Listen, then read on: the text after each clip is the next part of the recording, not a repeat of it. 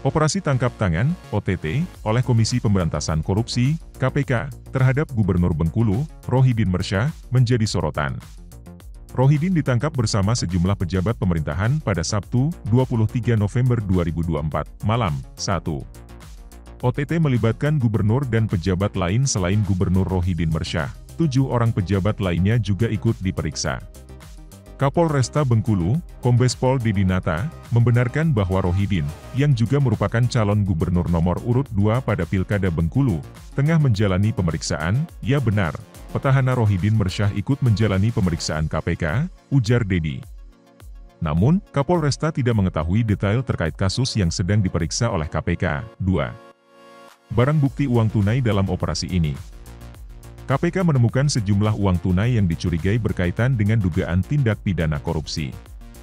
Hingga saat ini, jumlah uang yang ditemukan masih dalam proses penghitungan oleh tim KPK, juru bicara KPK, Tessa Mahardika, mengonfirmasi penangkapan ini dan menyatakan bahwa penyitaan uang menjadi salah satu bagian dari barang bukti.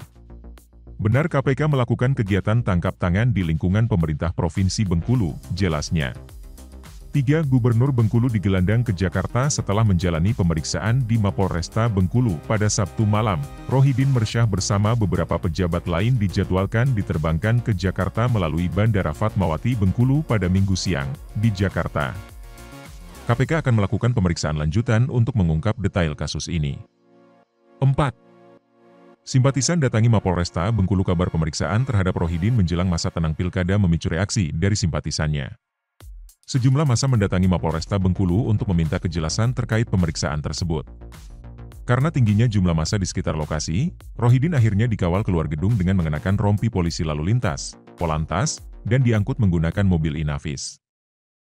Download Tribun X sekarang, menghadirkan lokal menjadi Indonesia.